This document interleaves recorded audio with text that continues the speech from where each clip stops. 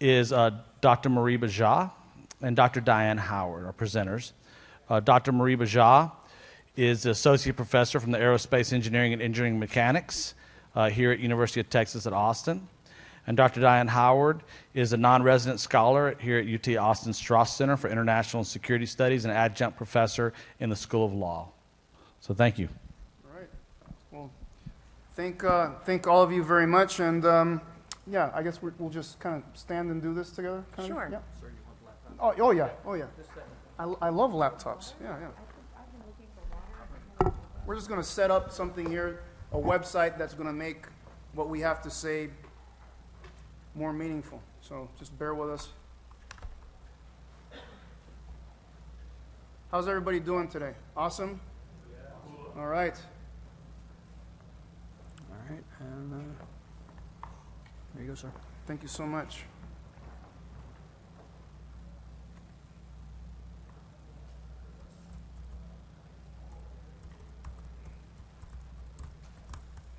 This is how easy it is for all of you to find this site.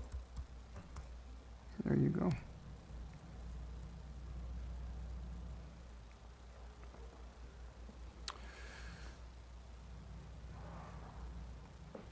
All right, well, this will take however long it takes given the uh, internet connectivity. Um, let's see, everybody, everybody can hear me well here. Is there a, do we want like separate microphones or do you think? Uh, I can get you a separate microphone. yeah, yeah, yeah, let's do that because I think the ability to kind of walk around is going to make a lot of sense. With us two just stuck here at the podium, it's going to make things a little bit more awkward, maybe.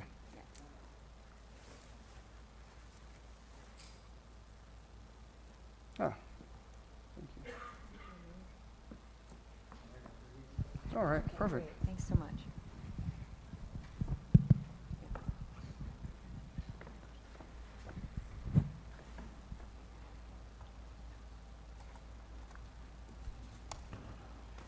What was that? We're sure this has internet connectivity? Okay. All right. So, my name is Moriba Jah. I am associate professor here in aerospace engineering. I am an astrodynamicist. Anybody here watch the movie The Martian? All right. So that guy, Rich Purnell, plays in The Martian. That's me. I mean, maybe you know I'm better looking than Rich Purnell, but we won't talk about that too much here. So, as an astrodynamicist, it is my job to study and predict the motion of objects in space. That's what I do. And interestingly enough, I wonder how many people in this room actually know that we only currently track about 1% of objects hazardous to critical space services and capabilities that we depend on. Anybody here know? Okay, right, very good. I, I see a few of you. So, hazardous to what sorts of things? Well, in general, you know, we have space services that look down on Earth that provide information about weather warnings, information on banking, these sorts of things. But for the DoD, think MilSatcom, think DSP, think a number of other objects that I probably can't or should not mention in this room, right? Providing critical service and capabilities. And there are roughly about half a million, half a million objects currently orbiting the Earth that could pose a hazard to the services that these satellites provide. Everything ranging, and when I say half a million objects, I mean things ranging in size from a speck of paint all the way up to a school bus. Okay? A speck of paint traveling at the right speeds, colliding with one of these objects could render it useless. But we can't track things as small as a speck of paint. We can only track things as small as, say, a smartphone. So when we limit ourselves in size to things from a softball or, or smartphone in size all the way to the school bus, out of that half a million things, that means we can only track about 26,000 things. Okay? And of those 26,000 things, only about 2,000 actually work. Everything else is garbage. That's a lot of garbage. Now, within the 26,000 things, There's most of it is debris. And I would say, from a DoD perspective, the question is debris or not debris? That is the question. But um, okay. Humor is a little bit, uh, there's, there's inertia in the room. All right. So, many things that could be not hazardous but actual threats to these services could be hiding in that population, in that clutter. So, when I say hazard and threat, what do I mean? Well, when I was quite, quite young, uh, I was a cop in the Air Force. I was a security policeman guarding nukes at Malmstrom Air Force Base in Montana. I'll tell you that nothing motivates a youngster to go to college as being a cop at a missile base. So, um, a threat required three things to exist at the same time intent, opportunity, and capability to cause harm, right? And so I'm, I'm calling a hazard something that lacks the intent, but still has the capability and the opportunity to cause harm.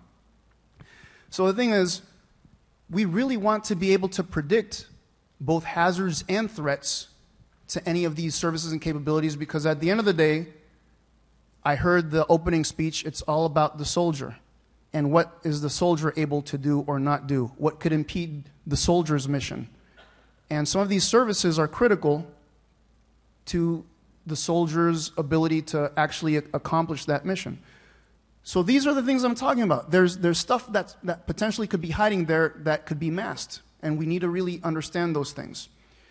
One of the other things that makes the space environment a little bit worse is that most of what we put in orbit never comes back. Yeah. So we have a satellite, we put it in orbit, it runs out of fuel, and we just send up something else.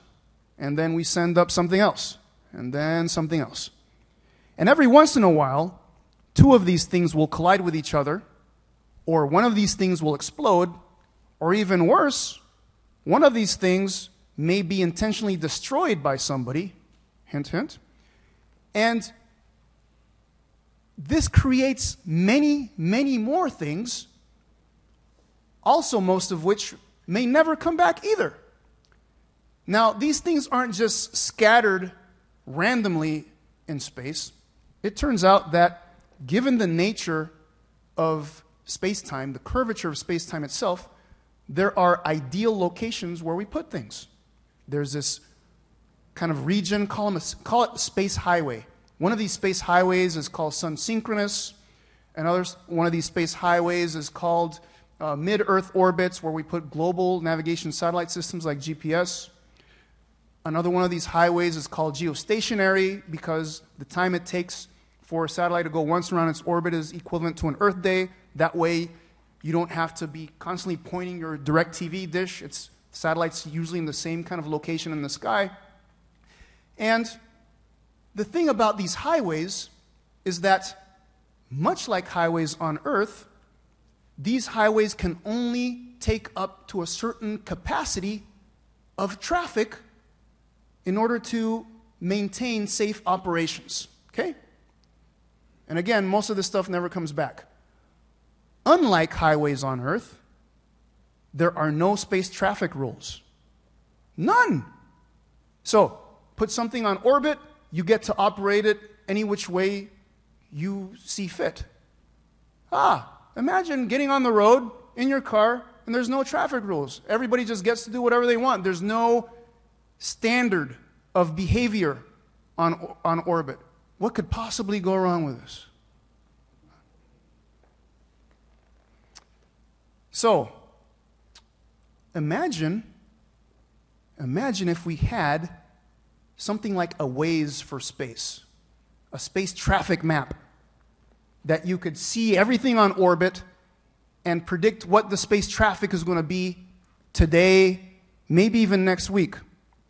And imagine if this open, transparent capability, this space traffic map, could also be used to build a body of evidence of activity and behavior that could then inform policy and regulation that makes sense, right?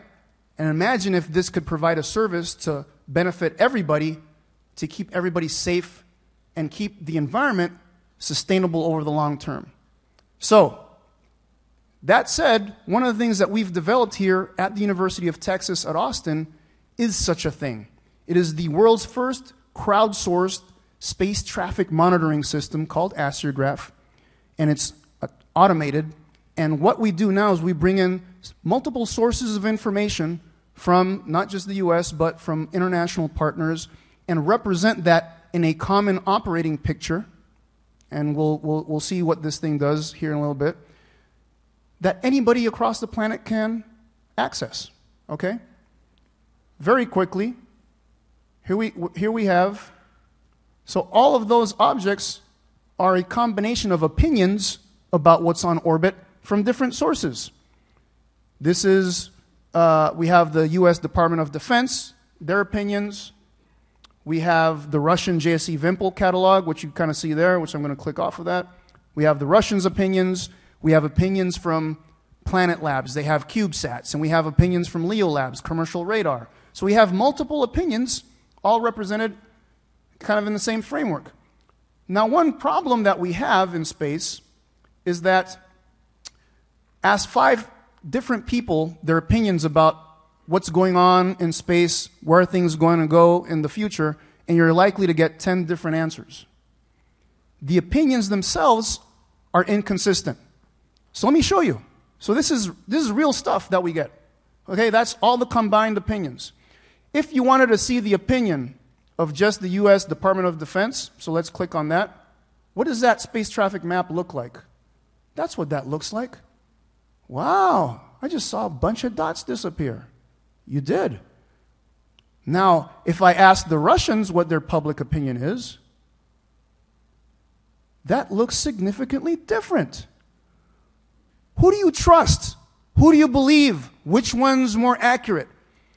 Can anybody here in the room tell me how do you know when you have the world's most accurate clock? How do you know that you have the world's most accurate clock? Anybody? What? So here's the thing if you have only one, then you don't know for sure, right? You have to assume that that's right. If you have two, well, if they don't say the same thing, which one's right? Currently, on planet Earth, the way you tell time is there are hundreds of atomic clocks distributed across the globe. Each one gives its opinion of the time, and you find the very center of that to figure out what the actual time is, and you know how accurate your clock is by comparing all these things to each other. That is the power of crowdsourcing this stuff for space is that there's going to be multiple opinions, but we want to find out the truth through consistency. Inconsistency is not horrible. It's telling you, guess what? You got work to do, man. That's okay. So, what I'm going to show you is I'm going to give you now an example of what I'm talking about about a single opinion and how single opinions here we go. So I'm going to I'm going to look up the satellite. It's going to be Flock 1C10 which currently belongs to Planet Labs. Okay? There's the Earth, there's Flock 1C10, and it turns out that this single satellite owned by Planet Labs, there are multiple opinions. Number one is where the U.S. Department of Defense publicly believes or says that this satellite is located. Number two is where the owner says it's located. Number three, I see, you can, you can see where I'm going here. Number three is where a commercial radar operator, Leo Labs, believes it's located. And number four is where me and my grad students say it's located based on this commercial radar data. All right, four opinions, right? Now I'm going to try to zoom in here. So you see one, the DoD's opinion, somewhere there coming into the Hudson Bay. You see four, which is clearly within the Arctic Circle. Those things aren't very close to each other, are they? Same object, okay? So let's zoom in here. Let's zoom in and see, see what's going on. Let me try to see if I can zoom in here. All right. Wow, number one is there. There's number four. I'm going to, these things are moving. We have simple dynamics propagating these things, so I'm going to pause it just to make my job a little bit easier. And uh, I'm working with a borrowed laptop, so forgive me. Let me see if I can make this work here. Okay. Ah, you just saw a number kind of change there. Okay, here we go. Yep, yep, it's coming, it's coming. The thing that I want you to, to notice, right, is that as I try to, hmm, yeah, this is going to be a bit tricky. Um, as I try to bring this thing into view, um, number one was way off, right?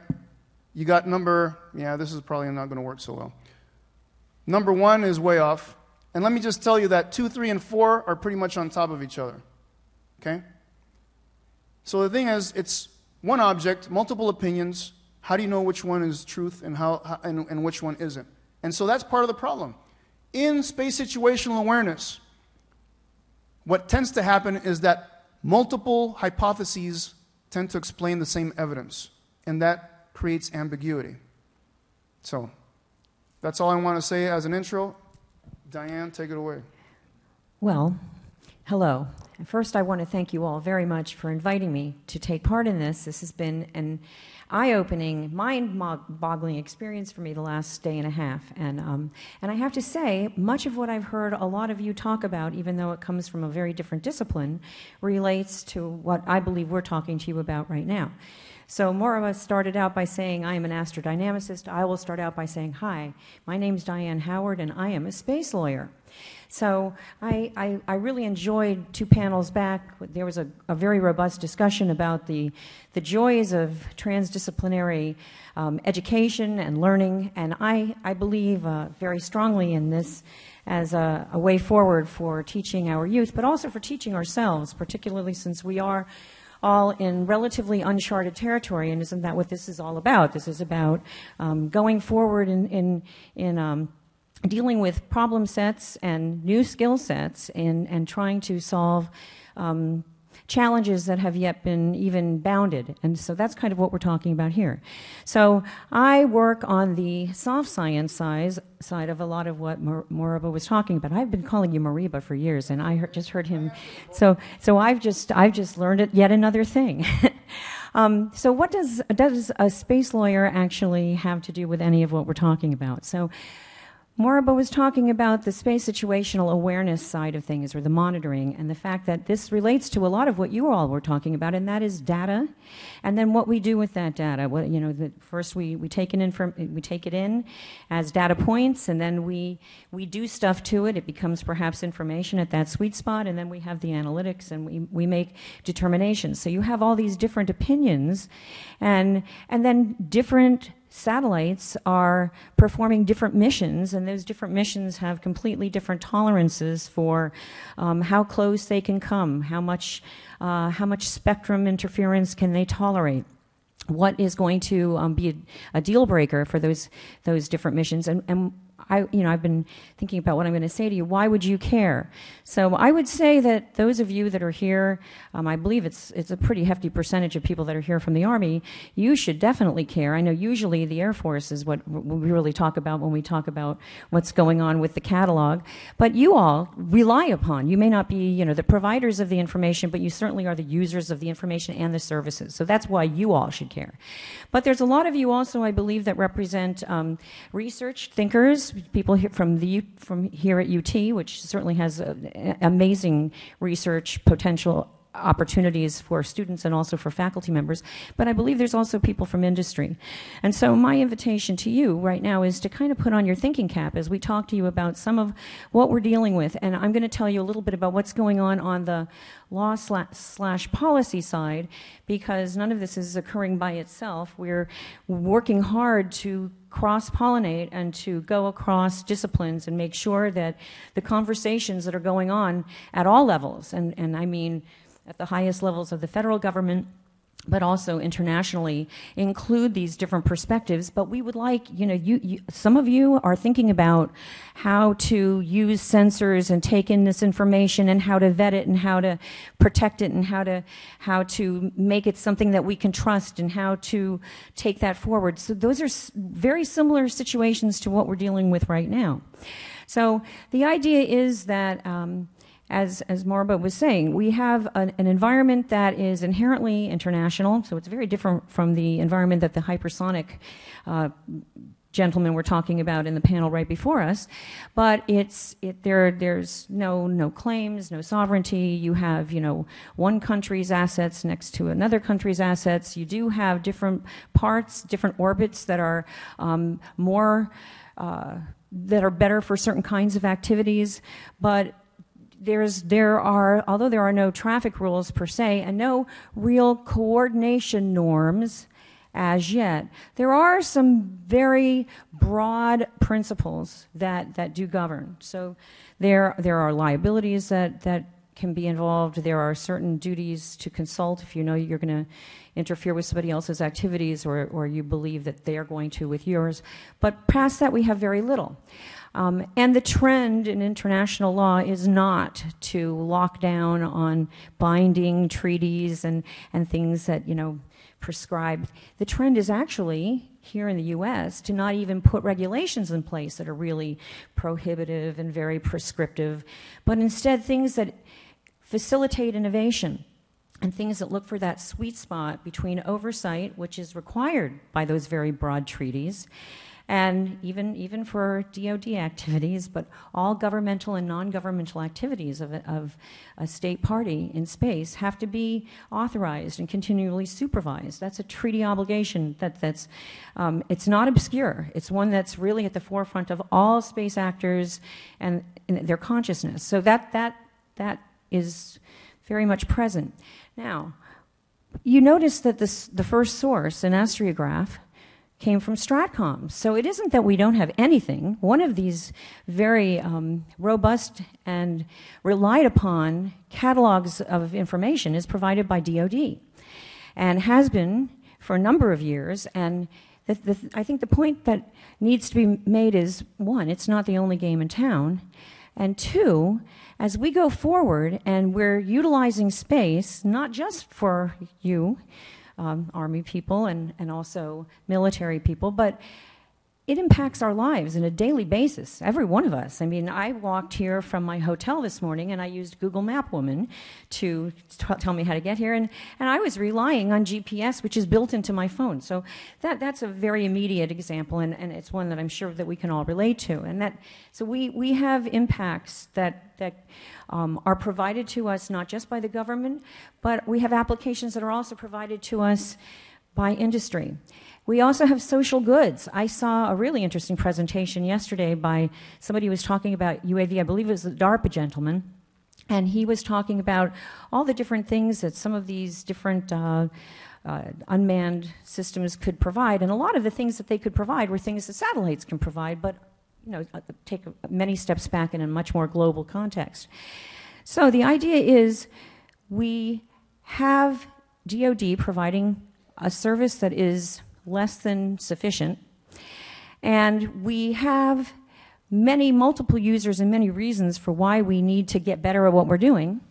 We have a crowdsourced platform, and we also have a mandate here in the US because not only are there international things that have been going on for a number of years, which are still very high level and don't really deal, they don't drill down into the nuts and bolts on how to collect this information. But here in the US, we had a, a, a very well articulated policy that was um, actually two policies that are um, implicated um, with regard to SSA and STM. The first is the SPD 2 that came out last February, and the second is SPD 3, which came out in June, both in 2018.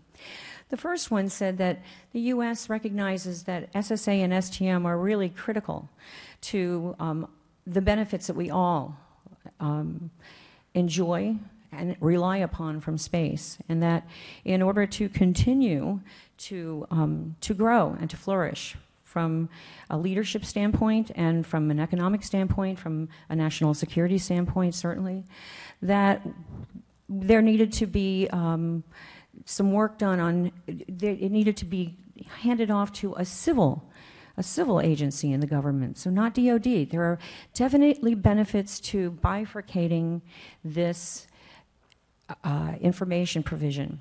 Okay? Let DoD do what DoD does best: protect, protect. Okay, let them focus their intentions on, on the reason they began keeping the catalog.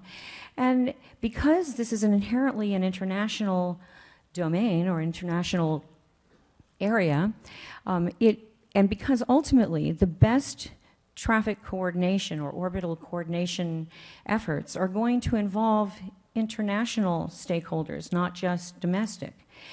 There, are, there is an optics benefit to taking it from defense and putting it into a civil agency because it's a little more palatable to some of our international partners. And so SPD2 said, Department of Commerce, you, you should start working on this, but didn't get into much more. There was a whole lot of other things that were uh, much more uh, articulated in SPD2. But SPD3 was the first time that it, a, a, a, a national government put together a space traffic management policy, and it's amazing. So it's uh, it's actually uh, a work of art, um, and it involves it, it, sets out tasks for multiple agencies: NASA, DoD, Commerce, Transportation. Mentions the FCC. It says all of you need to be working in a whole of government approach and dealing with interagency to start to really come up with ways that we can make this better. Okay? And commerce, you're going to take the lead with regard to figuring out a way to put together a, an open architecture. And I, I posit to you that this is a very good first start right here. An open architecture that allows a repository of data. And then uh, you should take, there are some very specific goals and objectives that are laid out in SPD3. And Commerce, in rallying to this mandate to step up and, and start working on things, on April 11th, published in the Federal Register its first request for information asking for academia and industry inputs with regard to these set, this set of issues and questions and challenges. And I'm going to invite you all to take a look at that if you have time and bandwidth, because I believe, after what I've heard in the last day and a half, that some of you are already thinking about these kinds of situations, like how do, you, how do we vet the information as it comes in? How do we collect it? How do we make it operable across formats? I heard a very interesting uh, statement, I, I, think in the hypersonic, one, one of the AI discussions about the fact that it isn't completely plug and play. You don't take it necessarily out of one context and just drop it down in another. And yet, I'm sure that there are some things that are um, somewhat similar. So another wonderful phrase I heard uh, from from one of the panels was this this idea of values and wants, and that's pretty much what the RFI is putting putting forward and, and asking for inputs. What are your values and what are your, want, your wants? Those of you that rely upon the space applications and those of you that are providing those services, those of you that are operators, those of you that are um, monitors, those of you that are um, collecting the data, those of you that are providing analytics. Because right now, that's where we're at. Um, from a from a, a, legal and policy standpoint, I would say that we're really way premature to coming up with regulations, but we're in the hunting and gathering stage. And so that's what this RFI is, that, um, you, you, know, until May 11th, we're hunting and gathering information to come into the U.S. government so that that can be then synthesized and collated and it, it, will be the beginnings of the rulemaking because ultimately what we need and what SPD3 um, said, this is, you know, you, you should end up with some standards and some, those standards should flow from practices, the best of the practices, and safety and sustainability of this environment, this very contested and, and somewhat congested environment, should be the drivers to what of those practices are considered the best. And then there is a process to taking practices and actually um, making them into standards that can be incorporated by reference into rules. And then we have some oversight in the beginning of the traffic rules or the coordination rules that, that we so sorely need. So thank you for your time. Excellent. So before, uh, before, I, before I open this up to uh, discussion, which is really what we want, I want to just plug in a couple more ideas for you. thing number one is you saw this graph of like 26,000 objects, right? Um, guess, guess how many licenses the FCC is, has granted for things to be launched within the next, say, five years? Can anybody guess like how many objects just from the US? So I hear 6,000, going on 6,001, going on 6,000. So it's, it's, it's, it's about 10,000. So Elon Musk already has licenses to launch 7,500 objects in the next five years.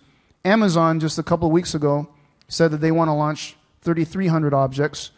OneWeb already launched a dozen out of about 1,000 objects that they want to have. So that 26,000 is about to be doubled in the next five years if all these people actually launch this stuff.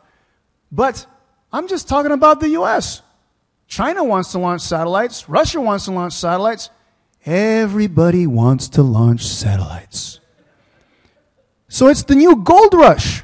I'm telling you, there's a lot of money to be made by having things on orbit and connecting that to human based activity and all these things. On tap. Information on tap. That's what we want. We want to be able to know and be able to predict who's going to be at the shopping mall in one hour and who's moving this ship to, you know, there's all this wealth of information and knowledge, and none of it can really be had if you don't have any sort of space based capability, and people are rushing to just launch as much stuff as possible as quickly as possible. Let me tell you something else. All of this stuff is based on physics. Physics is not the only thing responsible for how these things behave. All the satellites that are actually working are operated by human beings. If you want to understand, so people are saying, well, we want to understand what normal behavior is in space. I hear that all the time, and we're going to discuss that, and Diane's heard a lot, of, you know, a lot about that as well. What does that mean, normal behavior in space? We in this room, we can accept that based on where we grew up, we had some certain customs and traditions, and these are not uniform across humanity, right? Why do we expect the same for space? Anytime there is a behavior that we don't understand, it's panic mode. It's questioning. What's the intent of this object?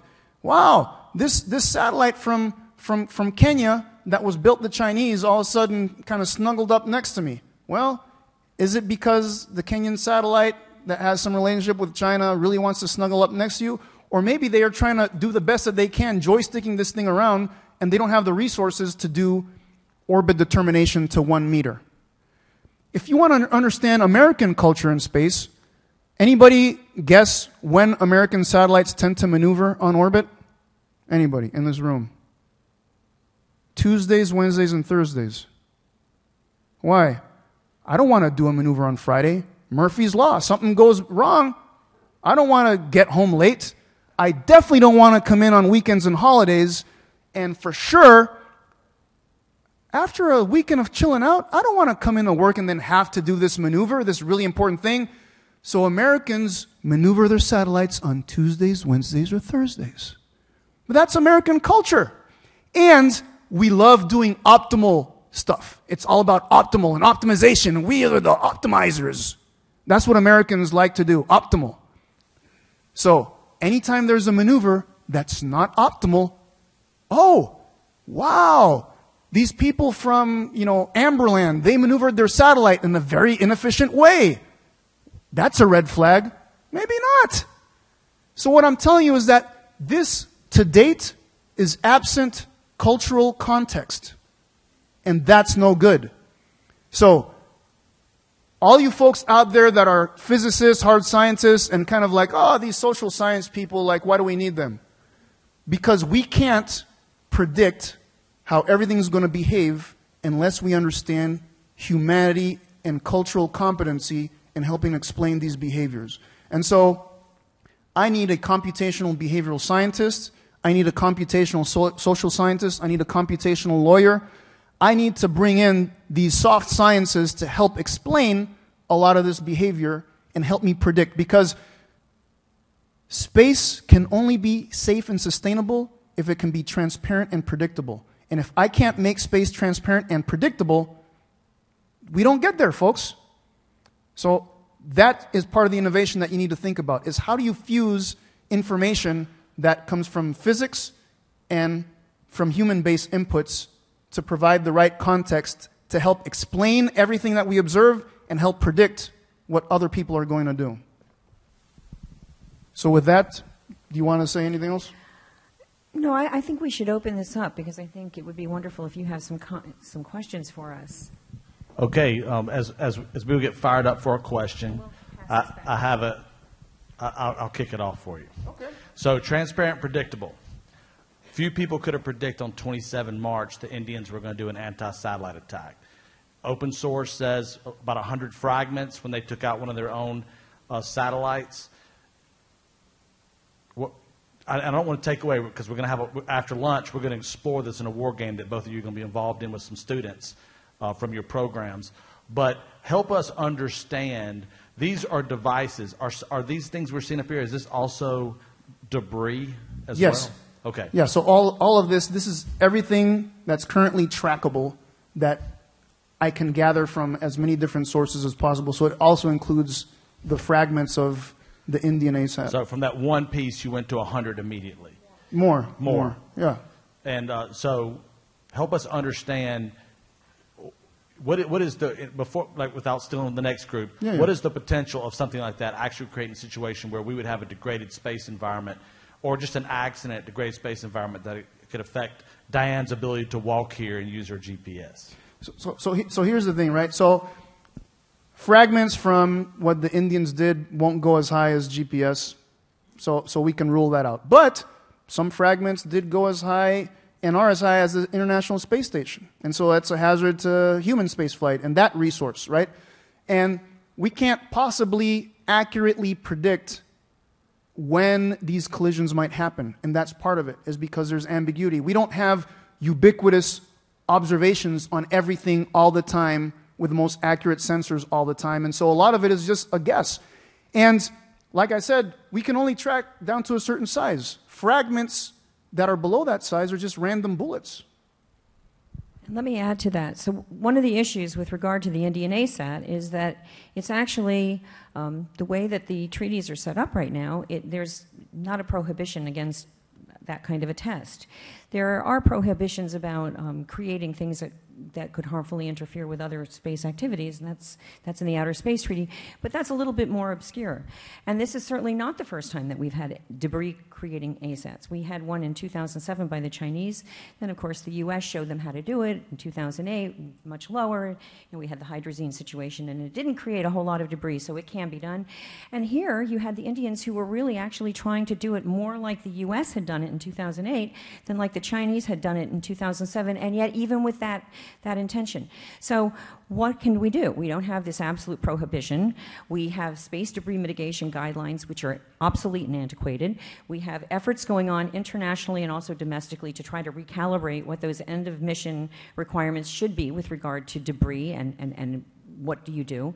And that, that's the issue. So there are um, initiatives that are going on at the international level right now, uh, at, the, at UNIDIR, and um, working on norms that would um, create maybe not an absolute prohibition, but enough name and shame in the international community if you perform a test and that Tibet, that test provide, uh, produces debris. So, so there, are, there are things that we're trying to do about that because the impacts we cannot, we can't foresee them.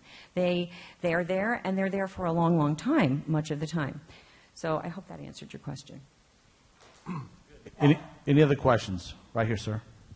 Very interesting talk. Um, your data set seems like an exemplar example to apply multi-entity correlation, um, disambiguation, and uh, aggregation algorithms. Have you applied any? So the answer is we have not applied them yet. Right now we're in a information gathering and curation phase, uh, but the analytics that you speak of is exactly the direction that, that we want to go in. So, yeah. Yeah. So, yeah, absolutely. Spot on. Tickety boo, tickety boo. One of the great governing features of all of this is spectrum. And there are some very specific rules with regard to spectrum. And there are some very specific rules well beyond what the FCC has, including the International Telecommunications Uni- Union and the work. So while we want to put up spacecraft like candy bars, there's going to be some winners and losers. And, and, and there's also going to be a, a very rich business for you with regard to uh, jamming and interference in space that's going to result in a lot of uh, legal liabilities. You're, yes, and, and in the RFI that I mentioned before, um, spectrum is mentioned. Um, the FCC recently came out with its own rulemaking trying to address some of these issues and, and, and plug them into um, the ITU. Um, which that's that's that's a very detailed amount of regulations. However, even that is being completely revamped and, and recalibrated as we kind of um, take unused spectrum and, and try to get more efficient about it. I mean, there's, there's a lot of issues about whether or not we can auction it off, not, um, you know, compatible users being near each other. And, and certainly, you know, the, the, we, we haven't really agreed on the best definition of what SSA and STM are. But one of the definitions that has been around since 2006 does also mention the, the fact that it's not just physical interference, it's also spectrum interference as well. So, yeah, th- those are all really good points. There's a gentleman over here. Uh, what were some of the sources of ambiguity for the, the flock system that you had uh, compared with the different situational tools? Yeah, so um, for the flock itself, Planet Lab is very forward leaning and they provide us with information on the location of each satellite based on onboard GPS. So we know that location to within tens of meters, so that's good, and we use that as a reference. And so when we compare everybody else, we compare it to that, right? And so some of the sources of error are the sensors that are used, like you know, LeoLabs, they give us radar data that they collect on all the planet satellites. They have their own orbit determination tools, but they, they don't lie, their answer doesn't line up exactly with planets because they have assumptions in the underlying physics. And the sensors are corrupted with noise and are biased. By the way, folks, the truth about all sensors is that all sensors lie. So embrace that fact, and, and life gets easier from there. So, so the thing is, all sensors lie. There's no truth sensor out there. So that also contributes to the discrepancy. Um, and my answer, uh, even though I process the same data that LeoLabs does, my answer is different because I have different assumptions in the underlying physics and all that other stuff, right? In the math and the estimation algorithm that I actually use. So this is to tell everybody we have work to do. Even if you give everybody the same data set, the answers are going to differ because of these things that I just mentioned, which motivates standardization and coming to an agreement on fundamental assumptions when we do this sort of work, right? So that's the work that still kind of lies ahead of us. But that is the those are the sources of these inconsistencies, my friend.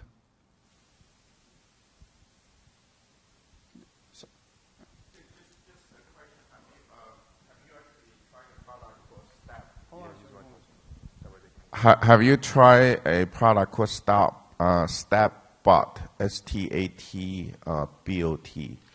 It's a, free software and it runs very fast deployment, which will be able to analyze all the data. SQL analyst. Uh, oh, it works on SQL. Yep.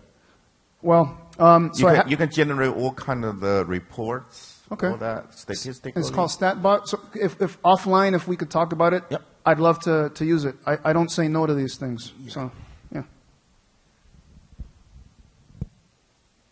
Any more questions? Come on, come on. What's the worst case scenario in your mind? Wow. Um, maybe this sets. So I think one of the worst case scenarios may be what we'll probably engage in after lunch. To be honest with you, right? Which I won't steal a thunder out of that, but um, like I said, part of the, the thing that makes space situational awareness difficult is that more often than not, multiple hypotheses that can be very different from each other explain the same evidence. So we don't have the amounts and the type of evidence usually to whittle all that down to one to one causal relationships. That's where we want to get to, but we're not there or anywhere close. And so that's to me is the worst case scenario is something happening where you have all these different explanations that satisfy the evidence and how do you know which one of those multiple things was the culprit, was the cause of what of the consequence that, that, that you observed. Sir. Okay, Frank again. There you go. If I want to be a very, very bad person and at low Earth orbit, uh, could I put up a pair of debris fields on the North and South Pole and interrupt a large volume of almost all traffic that would be going around the planet? So the debris fields wouldn't just stay there; they would like they would move all around the planet because of, you know, curvature of space time and, and, and physics.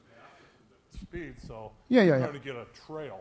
Yeah, yeah, yeah. So you'll get a trail. So what I'm saying is that any debris event that you put in LEO uh, that has high inclination, which would go through the poles. So, so sun synchronous, for instance, would be if you could create a huge debris field in sun synchronous, and then that would pose hazards to everything that you know crisscrosses uh, uh, in that environment. And let's see, yeah, the Chinese did that in 2007. We, we have a number of folks that are uh, that are drinking a lot of LEO Kool Aid uh, in OSD to a point where it's the only orbit that matters. I find that as being anti-resilient by putting all your eggs into a low Earth orbit basket. Understood. So, so, so one thing that I want to say before I hand it off to Diane is that um, here's the thing: when you want to achieve a specific mission, you want to use Mother Nature as much as possible, right? Because that that keeps the cost down. LEO isn't just chosen just because it happens to be closer. It it's chosen because, based on perturbations, it makes makes using Mother Nature the best possible so that we don't have to spend so much money with propellant, these other things. If you have to achieve the same mission and fight things like gravity, that's an expensive proposition, and that makes the calculus look a lot uglier. But I agree that there, there needs to be an all hands on deck hybrid solution that can explore other orbital regimes to provide that level of resilience, like you said. I, I just want to um, chime in and say I, I think you have support up the chain. So Secretary Wilson made that very point at symposium in Colorado Springs the week after, week before last, and, and, and said we can't put all of our eggs or all of our satellites in any one orbit, but instead, true resilience says that we, are, we rely on more than just the one. I think we're going to uh, halt here and then continue the conversation uh, after lunch. Thank you. Oh, okay. I've been waiting for this. By the way, SSA is more than what it spells backwards. I just want everyone to know. So, see, I see, I was calling you Moriba, It's so okay, more. man. I mean, I know Moriba. Yeah, now I There know you go. Moriba. There you Thank go. you, thank you. These are your proclamations as Army Mad Scientist, Thank you. as well as the, uh, the coin with the brain on a chip. And I think I'm the first space lawyer. Oh, I guarantee you are. I didn't know we even had any of those. Wow. Ah, I'm glad we do now. And then for your, for your offices, Thank you. there you go. I'm gonna steal this from you. Thank you very much. Thank you for the water. So, so Diane and Moriba are going to be up here after lunch because we're doing a first ever in Mad Scientist. You're actually going to watch an ongoing war game. We're taking these two individuals, Matt Bold from Lockheed, and three students from their program that they've selected uh, to come up here, and they're going to lay out a scenario at low Earth orbit, and they're going to brainstorm the idea, and we're going to and we're going to observe that and get to ask them questions to drive them through it. I'll explain more, but we've never done it before. That's what Mad Science is about, trying to look for different ways to explore ideas, and it's going to be a great, diverse panel with everything, with all kinds of people involved in it. So it's going to be a great opportunity. So right now, um, it's a little afternoon. You're going to come back at 1:15 today. Now, let me give you a little. Let me give you some guidance uh, on that. Uh, the agenda says 1.30. Come back at 1.15 because I'm working to get you out 15 minutes early today. So, so work with me. Uh, your lunch